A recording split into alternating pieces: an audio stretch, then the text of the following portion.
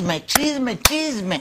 Me había olvidado de contar. Hola amigos de Reality Chismes y más. Amigos, en un anterior video les comentábamos que Yahweh Méndez debutó como peleador profesional en la MMA contra Johan, un chico colombiano que de igual manera debutaba y que bueno, finalmente consiguió el triunfo después de que detuvieran la pelea, ya que consideraban que Yahweh ya no podía continuar, pero aparentemente él sí tenía ganas de seguir con este round, pero pues simplemente ahí lo dejaron y le dieron el triunfo a Johan.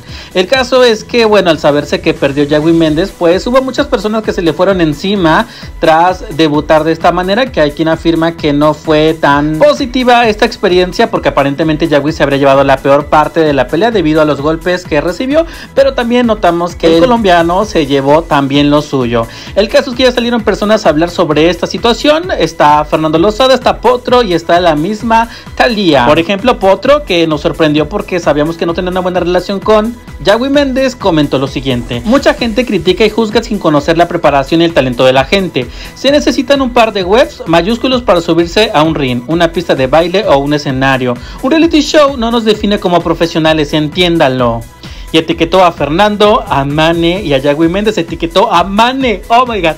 Etiquetó a Mane. Seguido de esto, dice: Un ser acomplejado es más peligroso que un ignorante. La ignorancia se combate con educación. Los complejos no tienen cura. ¿Qué tal? Con esto, obviamente, bueno, apela a esta postura con respecto a que siempre los encasillan como chicos que vienen de Acapulco Shore y no los pueden ver quizá como en otros ámbitos y esto es a lo que apela eh, Luis Caballero Potro y bueno pidió el apoyo de Fernando Mane y Yagui que fue la persona involucrada con todo esto. Talía posteriormente le comentó no hay pets mi Yagui te rifaste mamón y también Fernando le dio apoyo a Yagui Méndez le escribió tal vez no ganaste la pelea pero te ganaste el corazón de todos hermano. Eres una bestia fue lo que comentó Fernando Lozada. Y bueno amigos suscríbanse para más noticias, cualquier otra novedad estaremos al pendiente.